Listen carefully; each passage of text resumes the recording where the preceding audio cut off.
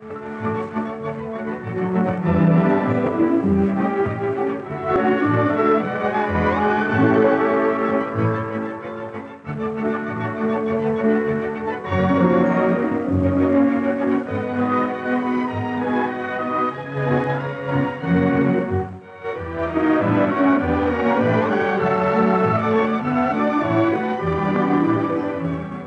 do you do? How do you do? How do you do? Please, just how do you do? That's one of the things this article brings out. If I want to get off to a smooth start with people, it's half the battle, I find. Well, maybe you'll understand why I feel that way if I tell you what happened to me last night. I got so mixed up and embarrassed. It was painful and quite unnecessary. Well, I was having a coke with my next door neighbor, Ann Woolsey.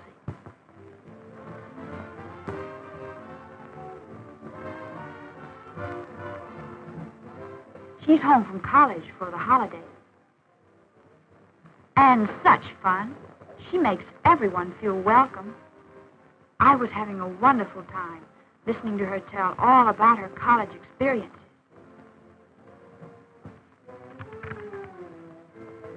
Until I happened to look up and see Frank Norton and Bill Phillips come in. Frank's new in town. He's smooth. Everyone likes him.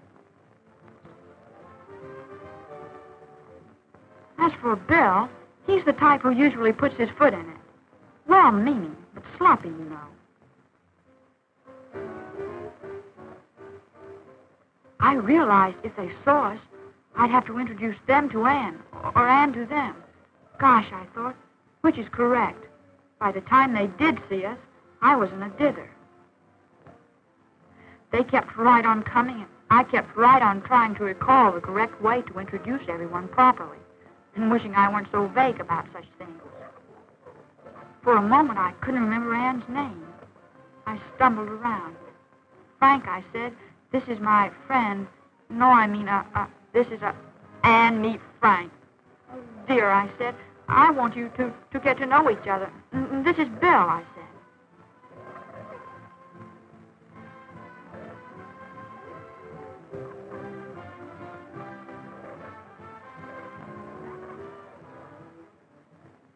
I felt so adolescent. Such a little thing to get so mixed up and excited about. Right then and there, I decided it was high time I got the whole matter of introduction straight, so I'd never have to think twice about them again.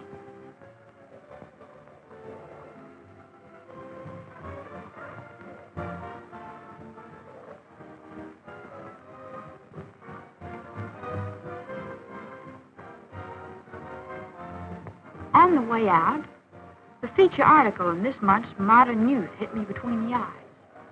The publishers must have had second sight when they put it in. I bought the magazine to do a little homework.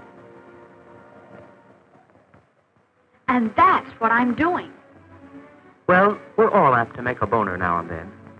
Once you learn the basic rules, an accepted introduction isn't really so complicated, is it? No, that's the point. It's simple. Look.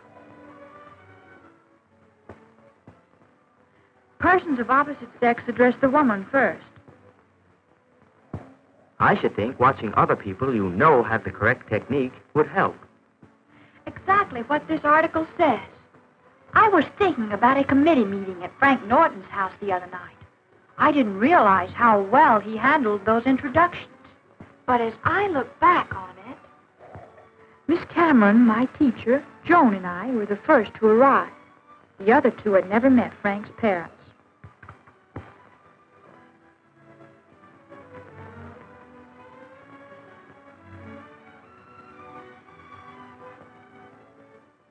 But I knew everyone there, so I said,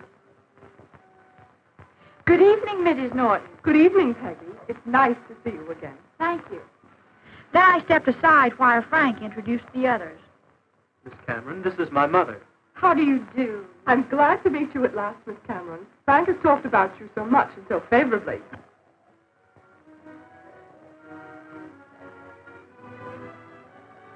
Mother, Joan Wood.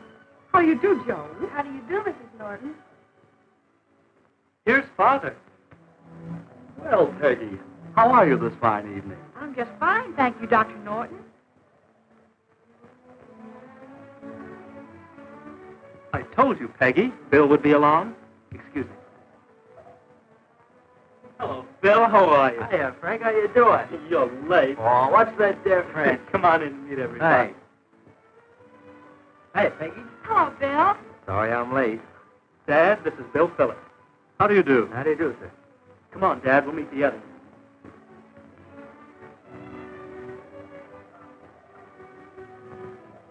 Miss Cameron, this is my father. How do you do, Miss Cameron? How do you do? Dad, I want to introduce you to Joan Wood. How do you do? How do you do? Excuse me, please. Would you excuse Bill for a moment, please, Peggy? Certainly. Thank you. Mother, I'd like to introduce Bill Phillips. How do you do? Frank tells me you're the captain of his basketball team. Well, yes, I am, Mrs. Norton. Well, it's been nice to see all of you. We'll leave you to your meeting now, if you will excuse us. They then said goodbye to us all, and they left. You see, nobody squirmed at Frank's introductions. They were all so simple and right to the point. We can all probably learn something from your experience. Just be sure you didn't miss anything. We can compare both these occasions with some of the points in the article. Would that do it? It should. Let's start with the one about speaking the woman's name first when introducing a man to her. Remember the mess you made of that one? You got all mixed up to start with. Your friends got the idea all right, but introductions like uh, meet so and so or let me make you acquainted with so and so are considered awkward anyway. Let's see how Frank introduced his father to his teacher. Addressing the woman first, he said, Miss Cameron, this is my father. How do you do, Miss Cameron? How do you do? There is one exception to the rule. Did you notice? Dad, I want to introduce you to Joan Wood. Frank addressed his father first out of respect. Even here, he phrased the introduction so that he introduced the man to the girl. Let's have that one again. Dad, I want to introduce you to Joan Wood. Suppose Frank had wanted to introduce me to Joan. He could take his choice. It wouldn't matter, since both of us are of the same age and sex. Now, how about persons of the same sex?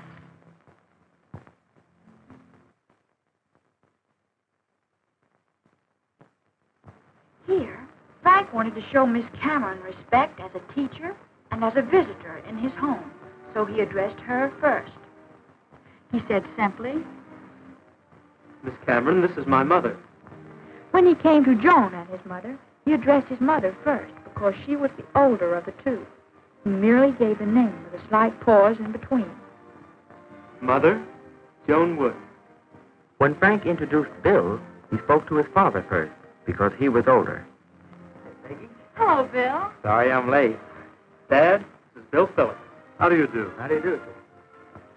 Well, that takes care of introductions, but you can't leave the situation hanging there. There's the matter of answering them. Unless you have a very good reason for saying something else, stick to the accepted form and just say, How do you do? Not, How do you do? And not, How do you do? Just say it simply, like Miss Cameron did. How do you do? Frank's mother wanted to make her response to Miss Cameron a bit more personal, since she had heard about her before naturally. Miss Cameron, this is my mother. How do you do? I'm glad to meet you at last, Miss Cameron. Frank has talked about you so much. This was another good way to acknowledge an introduction, wasn't it? Frank's mother mentioned something in common so as to break the ice, as I remember. How do you do? Frank tells me you're the captain of his basketball team. Well, yes, I am, Mrs. Norton. It's a good policy to fix a person's name by making it a part of your response, as Frank's mother and Joan did. Mother, Joan Wood. How do you do, Joan? How do you do, Mrs. Norton? Men do shake hands, but not as if approaching a time bomb or hand-to-hand combat. Dad, this is Bill Phillips.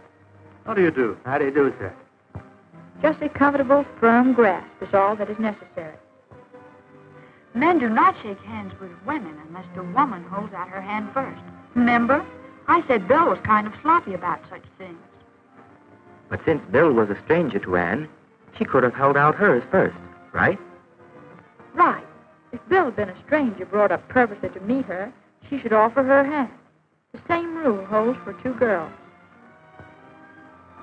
It looks this time as if Bill did the right thing. He waited for Mrs. Norton to offer her hand. Mother, I'd like to introduce Bill Phillips. How do you do? Yes, the woman always takes the initiative when it comes to shaking hands with a man. What else? How about rising? When should a man rise? When should a girl? Oh, yes. Let me see. I- I'll have to dream up a situation. Imagine Frank sitting there where I was. Then imagine me bringing Joan to introduce him to her. Frank would rise the moment he realizes I'm bringing someone to be introduced to him.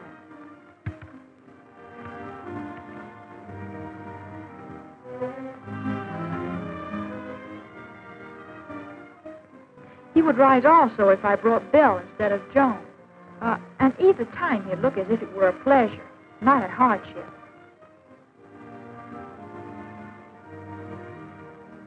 For girls, well, Joan would have risen as soon as she was introduced to Frank's mother or father, if either of them had been standing. Well, I guess that takes care of nearly everything. It's all a matter of practice.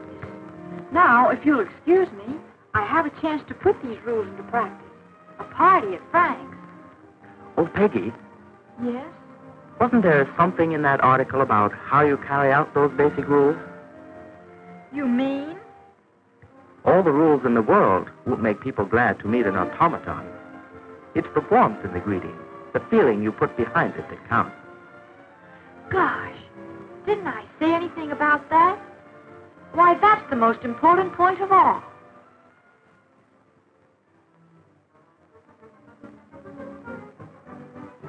How's Peggy getting along?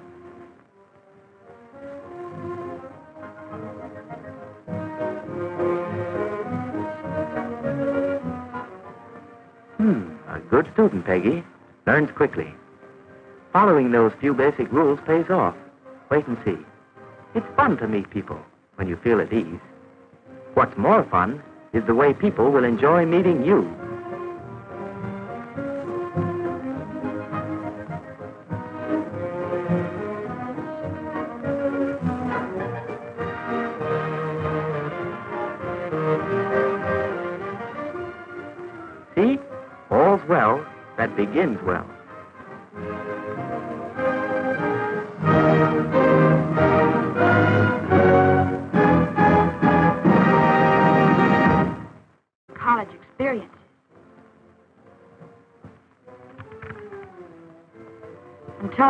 To look up and see Frank Norton and Bill Phillips come in. Frank's new in town. He's smooth. Everyone likes him.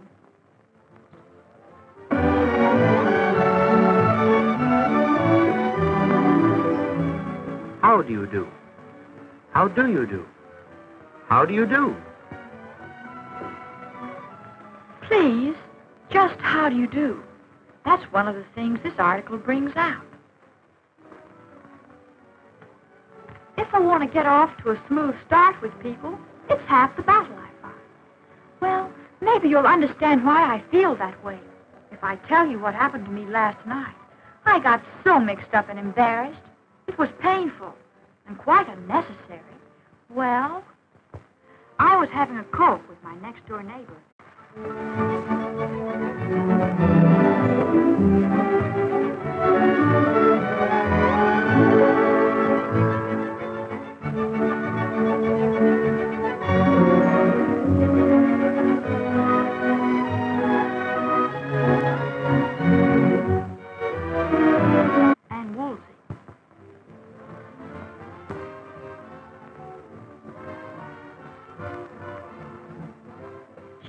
College for the holidays. And such fun. She makes everyone feel welcome. I was having a wonderful time listening to her tell all about her